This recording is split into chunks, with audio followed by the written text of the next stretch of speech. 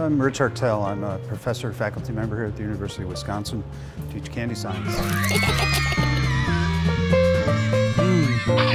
So we're gonna make some uh, hard candy today. Uh, this is a mixture of uh, granulated sugar. You can see the white stuff here. We have corn syrup uh, in here as well.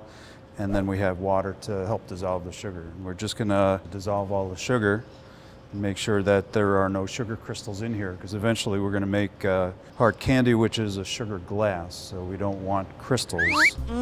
So we've reached the boiling point now and so essentially we're going to follow the boiling point elevation curve up.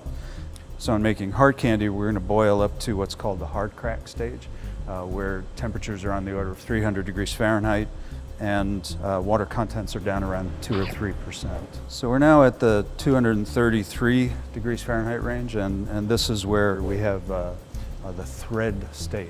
And what that means is the viscosity is high, higher that high enough that uh, when you pour this into cold water, uh, it forms threads as it falls through there, but the viscosity is still low enough that those threads dissolve fairly quickly.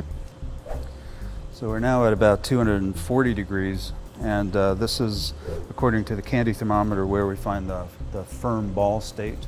And uh, so we boiled enough water that, that when you pour this into, when you drop it into cold water, uh, it forms a, a, coherent mass that you can take out and form it into a ball that uh, can still be manipulated. So it's plastic enough to be malleable, uh, but it's still a firm ball that can hold its shape. Okay, and we're at about uh, 298 now. And, uh, and so I'm going to stop it and take it off the heat. So we're, now going to take this over to the cold table and pour it out and start the next stage of the process. So at this point we've poured it onto the cold table and uh, it's starting to cool. You can see that uh, as it cools, it uh, becomes more plastic, more firm. We have some uh, color granules, and we'll add those in here. Some flavor, so we're going to add a little bit of lemon flavoring to this.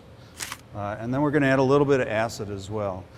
So right now we're in the stage where it's becoming a plastic mass, and uh, we're just trying to get it into a shape that it will uh, uh go through the rollers. It still has enough uh, heat in it, and the viscosity is low enough that it starts to flow.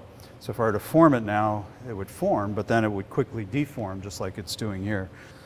So this is just about at the point where, where we can form it. It's viscous enough that it's not flowing very quickly, uh, yet it's still plastic enough that we're going to be able to get it through the, the rollers and, and turn it into a nice candy.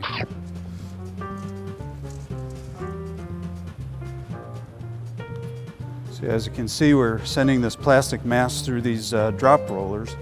They fill into the shapes and make the drop shaped candy. So now our lemon drops have uh, solidified enough. They've reached room temperature where now they're in the uh, form of a sugar glass. So this is just like window glass, except it's made of sugar molecules, not of silica. Uh, but now because it's in a sugar glass, I can drop this onto the tray and it's going to shatter. It'll shatter along the webbing here, leaving behind some intact uh, lemon drops.